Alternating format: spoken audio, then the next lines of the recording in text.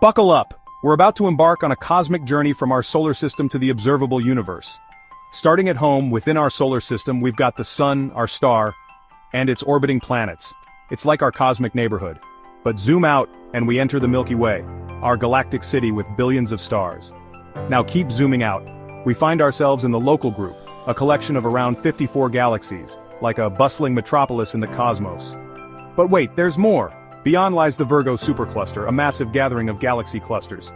And beyond that, the Laniakea supercluster, our home supercluster, stretching over 500 million light-years. It's mind-blowing, right?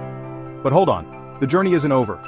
We keep expanding until we reach the observable universe, a sphere with a radius of about 93 billion light-years. It's like our cosmic horizon teeming with over 2 trillion galaxies.